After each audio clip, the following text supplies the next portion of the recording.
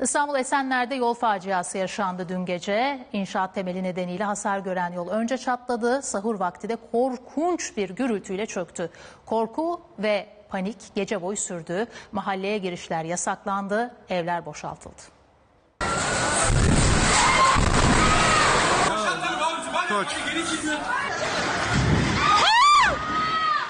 Tehlike adım adım geldi.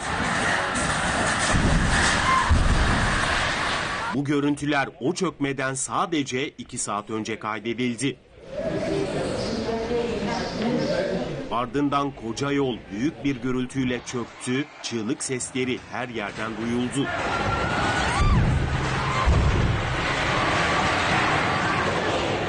Büyük bir ihtimalle inşaattan kaynaklandı yani. Bir aydır bir çalışma var. Zaten her gün depremi yaşıyoruz adeta yani sallantı falan. Bu alanda birkaç aydır inşaat çalışması yapılıyordu. İddiaya göre iş makinesi temeli kazarken binaların zeminine zarar verdi. Hani moloza vurursunuz da demirini ayıklarsınız ya. O işlemi burada yaptılar. Vura vura artık o öbür sokağın borularının içine bile patlatmışlar. Hep su geliyordu oradan buraya.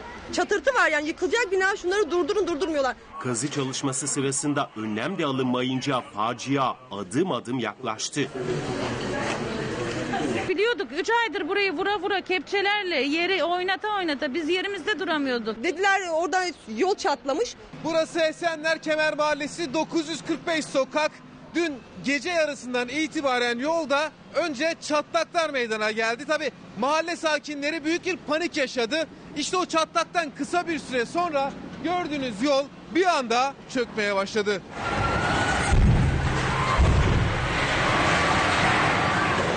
Zaten çatlak olan yol herkesin gözü önünde çöktü. Korku, panik kameraya böyle yansıdı.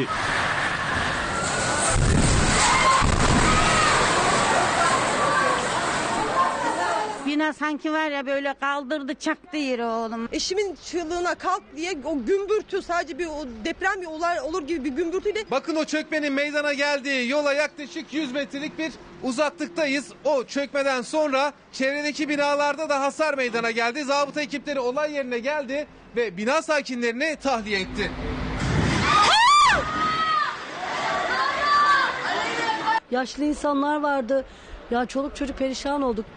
Bak gördün mü nasıl düşüyor betonlar benim oradan düşmüş ön tarafı. Evlerini boşaltmak zorunda kalanlar çaresiz yardım bekliyorlar.